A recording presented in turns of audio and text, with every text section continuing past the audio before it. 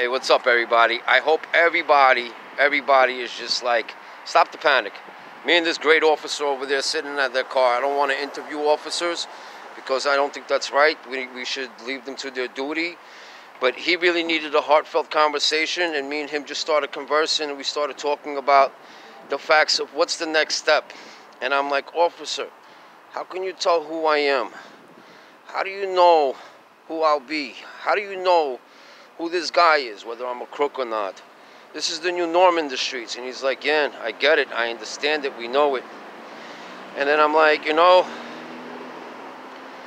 what are your thoughts about people getting released from jail? And he went in. He had the same exact thoughts that I posted before.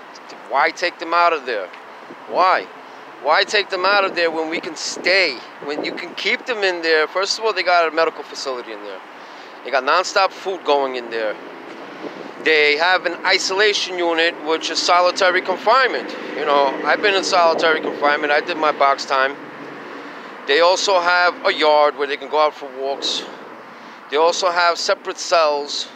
They can have two-man cells with those that don't have corona. They can stay in two-man cells. I mean, people are living with their roommates. Why can't they live with their roommates? They got dormitories. They got dormitories up to 60 people and they're spread out. You know? Why would you let all these people out in the streets? That's not a good thing. But he knows, he knows what to expect, but he had some positive words, amazing words. First of all, he's on the front line all the time. He doesn't even go home because he, he knows that he's in the front line. He don't know if he could be carrying corona. He don't know if he could be he, he don't know if he can infect his children. So he doesn't go home, this officer. I feel bad.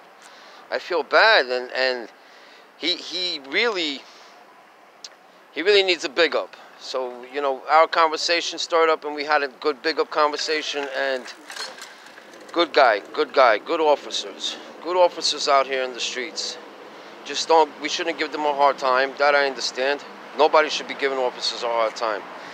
They're going to be on the front lines of the streets right now and they're going to be the protection that all of us have as a whole.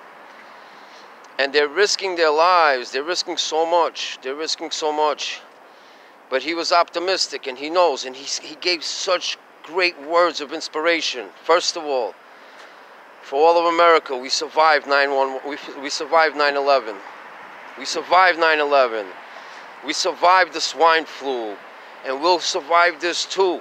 We just have to stay maintain, stay positive, and understand what to be ready for. What to be ready for.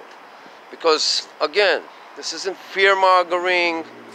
This is not this is not this is not to get people worried. On the other hand, get knowledge.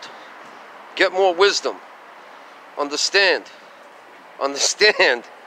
And you will know and you'll see that if you have things in control and you understand you got your mind in control and you start having concerns for the right reasons, you'll see that your life will feel a little bit better. The panic will calm down. The anxiety will calm down. The worries will calm down. Because you just got to get a grip. Just got to get a grip and, and, and just take suit and, and, become a leader in your house. This is why you're home. Get Become a leader of yourself. And you'll see you'll be able to conquer anything. Conquer anything. Everybody have a wonderful, wonderful day, wonderful evening, a wonderful night for those of you at home with your families right now. Hey, love them. Love yourself. Love them. You know, I hear, you know, I walk past and I hear a lot of things. And it's time for everybody to start to love one another. And the good, the good need to stick together. Because if the good stop sticking together, then all else fails.